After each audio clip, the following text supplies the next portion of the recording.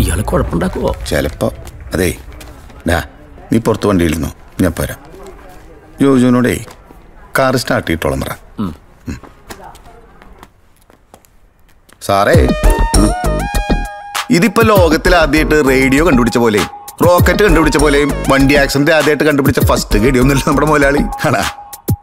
Accident മുമ്പ് ധാരാളം ഉണ്ടായിട്ടുണ്ട്. അതൊക്കെ പലരും ഏറ്റെടുത്തിട്ടുണ്ട് ഇറങ്ങടാ വെളിയിൽ സാറേ. ആരെയും കീറി വിളിച്ച് പേടിപ്പിക്കണേ? ഇറങ്ങിട്ട് വിട്ട സാറേ. നമ്മടെ മുതലാളിക്ക് അത്തപ്പാടി തമിഴ്നായിട്ടൊരു മുൻവൈരാഗ്യം ഇല്ലായിരുന്നു ഉണ്ടായിരുന്ന സാറിന് തോന്നണ്ട പറ്റിപ്പോയി. എനിക്കായാലും സാറിനായാലും പറ്റാവുന്നൊരു തെറ്റാണ്. മനസ്സിലായ? പിന്നെ ഈ ജാതി കേസിട്ടുകൾ സംസാരിക്കാൻ പറ്റുന്ന ആളെ ഇങ്ങോട്ട് സാറിന്റെ അടുത്തേക്ക് അയക്കുന്നുണ്ട് ഇൻട്രസ്റ്റ് ഉണ്ടെങ്കിൽ സാർ ആളായിട്ടൊന്ന് സംസാരിക്കും. ഇല്ലെങ്കിൽ ഞാൻ എന്റെ ആയിട്ടുള്ള വഴി നോക്കിക്കൊണ്ട് പോലീസുകാരുടെ മാർപ്പാപ്പയൊന്നുമല്ലോ സാറ്. വേറെയും കൊമ്പന്മാരുണ്ട് പോലീസിൽ. അപ്പൊ ആ എല്ലാം അങ്ങോട്ട് വിട്ടിട്ട് ചെറുതായിട്ട് ഇന്നൊന്ന് ആലോചിക്കും അപ്പൊ എല്ലാം പറഞ്ഞ പോലെ.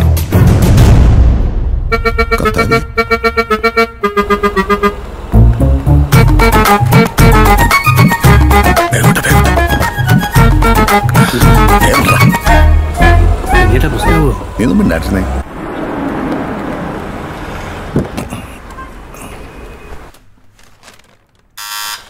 ആ കുത്തിക്കൊണ്ടിരിക്കാണ്ട് തുറക്കടാ. ചേ ഇനി ഇത് ആദ്യം തൊട്ട് കളിച്ചുണ്ടാക്കണ്ടേ? ഞങ്ങൾക്ക് കുറച്ചുകൂടി കഴിഞ്ഞിട്ട് വന്നാൽ പോരെ. വക്കീല? അല്ല കീടനാശിനിന്റെ മെഡിക്കൽ റപ്പാ കീടനാശിനിയുടെ മെഡിക്കൽ റപ്പാ ആ? വനദുർഗ കെമിക്കൽസിന്റെ ഇരിങ്ങാലക്കുട ഏരിയ മെഡിക്കൽ റപ്പാ ഞാൻ. മൂപ്പരിന്റെ ചെറിയൊരു കസിനാ ആരായി റിനി ഇപ്പൊ നാട്ടുമേ ആട്ടുമല്ല മാട്ടുമൽ. ഈ മയിലിന്റെ മാണ്ടല്ല മാമ. ആ. ഞാൻ.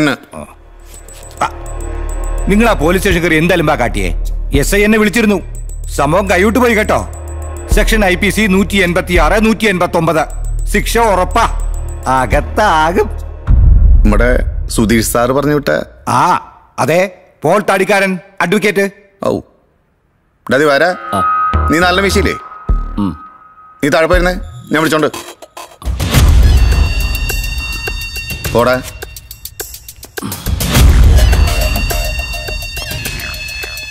എടുക്കാൻ പറഞ്ഞില്ല? അതെ ഇറങ്ങിപ്പോയ ദിവാരം മുതലേ സാറിന് മനസ്സിലായ? മൂന്ന് കൊലക്കേസിലെ പ്രതിയാണ്. രണ്ടു പ്രാവശ്യം ജയിലിലും കിടന്നുണ്ട് ആ ഗടി കൈപൊക്കിന്ന് തന്നാ ഞാൻ പാടാട്ടാ. പക്ഷെ ഇറങ്ങിപ്പോ ദിവാരാന്ന് പറഞ്ഞപ്പോ പയർ പോലെ പോയണ്ട. എന്തുട്ടിന് അത് നമ്മൾ ഉണ്ടാക്കുന്ന ഒരു ആംബിയൻസ് ആണ്.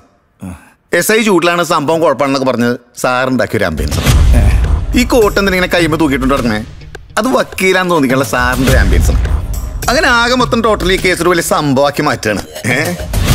ഇരിക്കട്ടാ. അതല്ല പോലീസ് സ്റ്റേഷൻ കയറി എസ് ഐയുടെ അടുത്തൊക്കെ ഷൗട്ട് ചെയ്യാന്നൊക്കെ പറഞ്ഞ അതൊക്കെ ശരിയാക്കാം. സാർ ഇരിക്കണ്ട്. എന്റെ പൊന്നു വക്കീൽ സാറേ ആത്മരക്ഷാർ ആത്മരക്ഷാർത്ഥം നമ്മളെ കൊന്നാ പോലും ശിക്ഷയിൽ അളവിട്ടാണ് നമ്മുടെ നിയമം. എന്റെ ഒരു ആത്മരക്ഷാത ഗെയിമാണ്. ഗെയിമേ. ആ. എസ് സി ഒരു പൊട്ടനാട്ടാ. അത് ഞാൻ ടെസ്റ്റ് അടിച്ച് നോക്കിയല്ലേ?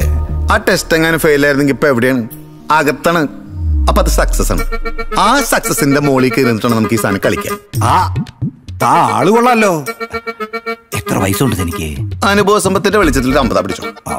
പത്താമത്തെ വയസ്സിൽ നാപ്പത് വയസ്സിന്റെ ലോഡായിരുന്നു ഈ ഷോൾഡറിലെ അപ്പൊ പത്ത് നാപ്പത് അമ്പത്. പത്താമത്തെ വയസ്സിലെ പടപ്പം പടായേ.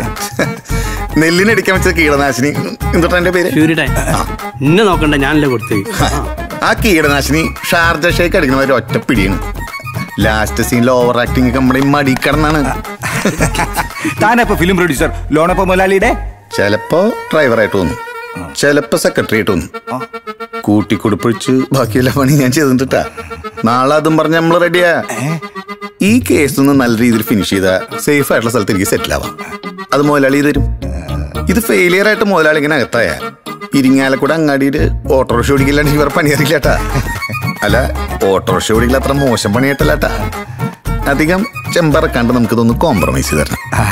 മോനെ റിനിപ്പാ നാഴി നാഴിമേർക്കല്ലേട്ടാ അതെനിക്കറിയാം. എന്തോരം കാശ് വീണാലും വക്കീലന്മാരെ ആക്രാന്തം തീരില്ലാന്ന്. വക്കീൽ സാറിന്റെ കാശ് വക്കീൽ സാർ തീരുമാനിച്ചോ? അതിന്റെ പേരിൽ ഒരു ബാർഗെയിൻ ഇല്ലാന്ന് ആ. എസ് ഐനെ സാറൊന്ന് ചവിട്ടിക്കുട്ടി തന്ന. പത്ത് മണിക്കുമ്പ് റൂം അങ്ങോട്ട് വെക്കട്ടായിരുന്നേ ആ.